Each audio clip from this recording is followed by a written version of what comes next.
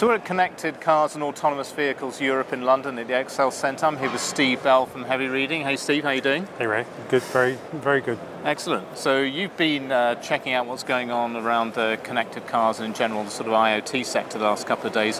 What's the key sense you're getting about developments in, in the whole connected cars uh, area? Well, I think one of the, the most amazing things is that this uh, exhibition and, and conference brought together a couple of things. You've got 5G at one end of the yeah, conference 5G area. world is all the way over all there. All over there. And then you've got connected vehicle down this end.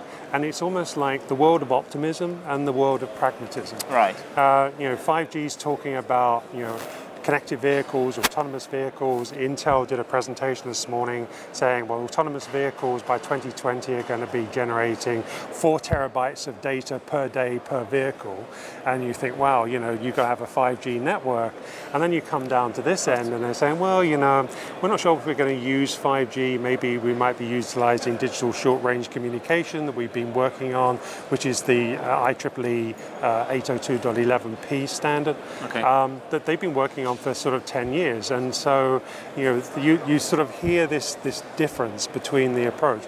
Uh, there was a strategy analytics presentation that was showing you know the number of sensors that were being put into the cars, which is rapidly climbing. Right. You know, and, and you start to think of Ford and what they've been putting into their compact vehicles. You know everything from you know you know lane keeping to cross traffic avoidance to braking.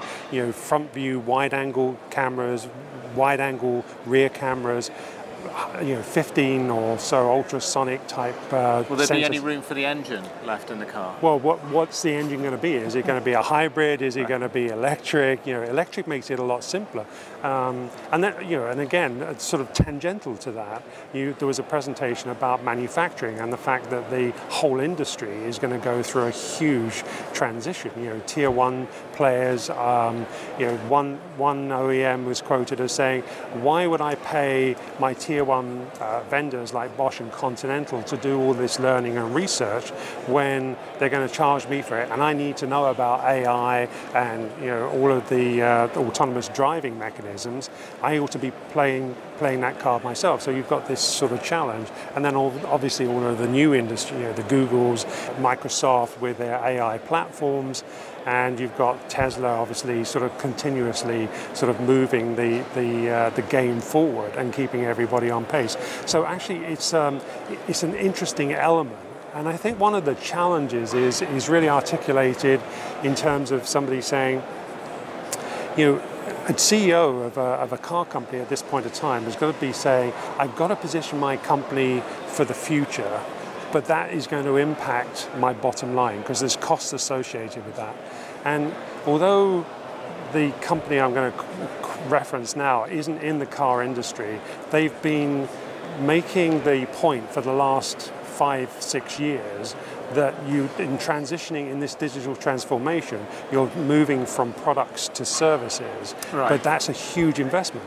And, and, the company I'm referring to is GE. You know, they talk about the fact that you know, they don't sell engines, they now sell flight times. Well, of course, the shareholders don't necessarily agree with the pace of the development. So Jeff Immelt this week was really sort of replaced as chairman, but he was the you know the father and the driver of this digital transformation. So there's a very fine balancing act that's, that needs to be played out in terms of creating this digital transformation, whether it's in connected cars or if it's in any of the peripheral industries like smart manufacturing, right. that it's going to deliver it.